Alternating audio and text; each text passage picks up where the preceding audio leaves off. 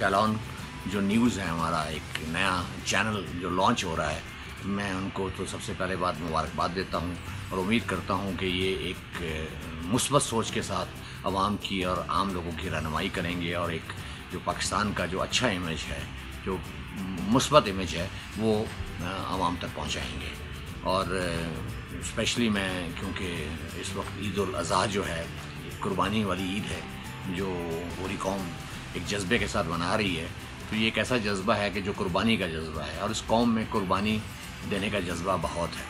तो अगर इसको सही डायरेक्शन दी जाए, इसको सही गाइड की जाए तो मेरा ख्याल है कि हम अज़हा की जो कुर्बानी है, वो हम उसी जज्बे के साथ अपने कौम के लिए, अपने मुल्क के लिए कुर्बानी दे सकते हैं, और उसको बेसिकली जो कुर्बानी की जो ट्रू स्पिरिट है, उसको हम अपने जहन में रख के और आगे प्रमोट करें, और इन ये कौम जो है ना, तरक्की की तरफ़ जाएगी, और उम्मीद करता हूँ कि हमारा जो चैनल है,